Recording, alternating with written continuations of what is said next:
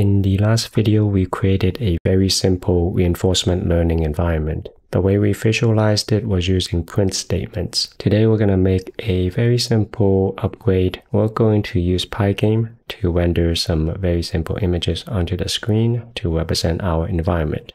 Okay, I'm in my VS Code project. The first thing I want to do is to bring in the images. Let me create a new folder call it sprites. In game development, sprites are 2D images. Here's my robot, the floor, and the package. Now I'm in the warehouse robot code. I'm going to import Pygame. Pygame comes with Gymnasium, so there's no need to perform an additional install. I'm also importing the system and OS module. Now I want to initialize Pygame so let me create a new function. I'm putting underscore here to signify that this is a internal function, not to be called outside of this class. Before using pygame, we need to call pygame.init. We also need to initialize the display module. Now I want to calculate the size of the window. A cell is one of these squares. Now you can certainly use pygame to get the resolution of your screen and then using that calculate the size of the cells. All that is just basic math. So instead of making you watch me do basic math, I'm just gonna hard code the height and the width to be 64. My window size is going to be the width multiplied by the number of columns and then the height multiplied by the number of rows. The next thing I'm going to do is to load the assets, starting with the blue robot which resides in the sprites folder under the current folder. So all it's doing is constructing the path. Pass the path to pygame.image.load. That's going to load the image into this variable. Most likely the image is probably not going to be 64 by 64, so I need to scale it. I'll call transform.scale, give it the image, and give it the size, which is 64, 64. I'll do the exact same thing for the floor image and the package image. Before I go any further, I want to show you how easy it is to navigate Pygame's documentation. Let's look at the functions that I just used. Transform. Transforms right here. Click that. I use transform.scale. Click on that. Here it gives you the definition and explains what the scale function does. And then another one is image.load. Now, where's the image? Here's image. Here's the load function.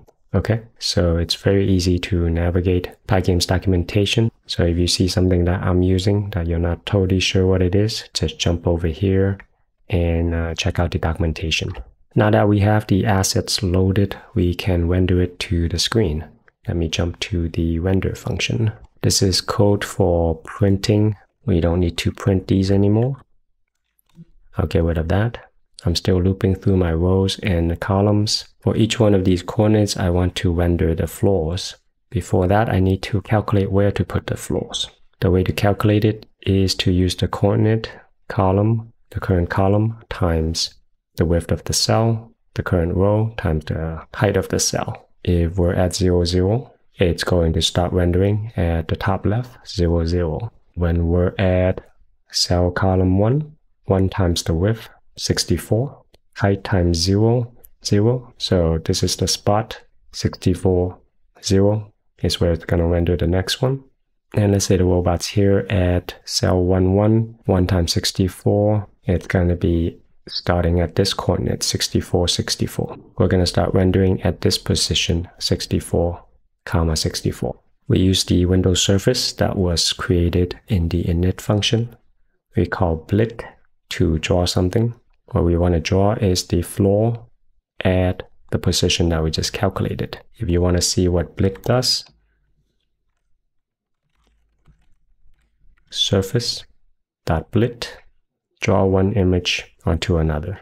Now before I add the robot and the uh, target, let me just run the code and we can see what the progress is like. But before we end the render function, we need to call the update in order to render the stuff to the screen. Now I'm going to hit F5 to run the code. Okay, let me see if I call the init function. Ah, we have not called the init function. Okay, run this again. Oh, I haven't declared the window surface. Go back to the init function. After calculating the window size, we need to initialize Pygame's display with that window size. This is where we get the window surface. Rerun. Okay, it ran too fast and it came up and disappeared. So let me do a infinite loop in my main. Okay, now it's running indefinitely. Let me stop it. Okay, back to my render function. Let's render the package. If my coordinates are matching where the target position is supposed to be, I'm going to draw the package. I'm going to draw it in the same position that we calculated from above. Also, if the coordinates is where the robot currently is, we'll use the same function to draw the robot in the same position. The assets are going to be drawn in this order. You see the floor first. If the package is there, you see the package. If the robot is there, you see the robot. Let me run this. Now you see the robot moving around, searching for the package but it's going way too fast. We need to control the uh, frames per second. Let me go to my init function. I'm going to let the frames per second be passed in from externally, but I'll default it to 1.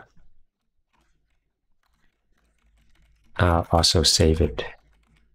In order to control frames per second, we need the game clock. So in my init pygame function, I'm going to get an instance of the game clock. And then in the render function,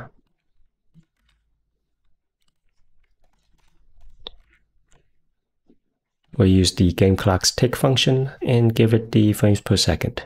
This line here will slow down the game. So let me run it. The robot should be moving pretty slowly. Well, it's not moving right now. It wasn't moving before because it was trying to go up and left, but finally it got out of the corner. So this is how you control the frames per second. Now instead of printing the actions here, maybe we want to print it onto the window itself. Let me stop this. Back in the init, let me add the font that I want to use. So I'm using pygame.font and I just pick a font and a size. I want to print the action on the bottom. So I'm going to get the height of the font, save it here. And then down here where we calculate the window size, I'm going to increase the height by the height of the font. Okay. If I run it now, we should see that extra space on the bottom down here. Notice that it's all black down here.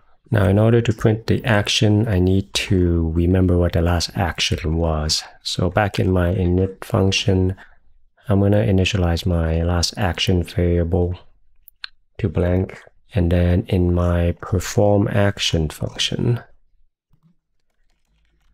I'll save the action that was performed. And now in the render function, remember the background was all black because we didn't put a background color so I'm going to fill the window surface with, with a white color. Also, if I don't clear the background each time, there could be leftover text from the previous frames. Now to render the text. Pygame renders text as images. We'll use font.render, give it the text that we want to render. Anti-alias, let's turn it on. Color of the text, just make it black. Background of the text. We'll make it white. Just like the assets above, we need to calculate the position of where we want to put this text image. Now I'm going to put it at 0, 0. And then the window size minus the font height. That's going to calculate this coordinate for me. And just like render the images, and just like rendering images above, we render the text image the same way.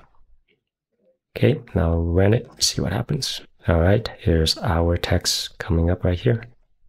Now you'll notice that if I click on uh, the close window X here, it's not going to go well, it's going to crash. We need to handle these events. I'll define a new function called process events. What this does is it loops through all the events that's been queued up.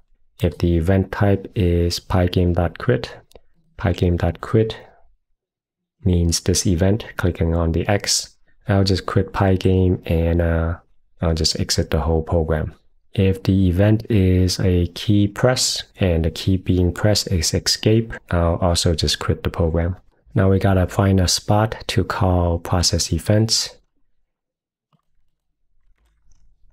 I'll just do it at the beginning of the render function. Okay, let's go. All right, now if I click the X here, it should close Pygame. You can also try escape. I'm gonna hit escape on my keyboard, also quits Pygame. Now that our warehouse robot has been modified, what do we need to do in the gym environment? Now remember we added to the init function, the warehouse robot init function, frames per second. This is where we can pass the frames per second metadata to here. I'll call self metadata render frames per second. One seems slow, we can do four. Down in the main, I'll comment out the code to check the environment. We know the environment is good. We can uncomment this when we want to check the environment again. Let me change this to a infinite while loop. Here, if we encounter terminated, meaning that the robot finds the package, I want to reset the I want to reset the environment, which means the package will get relocated to a new position and the robot has to find it again. Let's run it.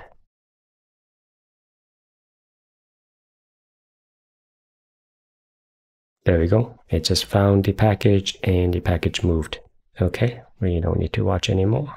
Okay, so that was our small upgrade for today. If you enjoyed this video, give me a like, subscribe, drop me a comment. Thanks for watching.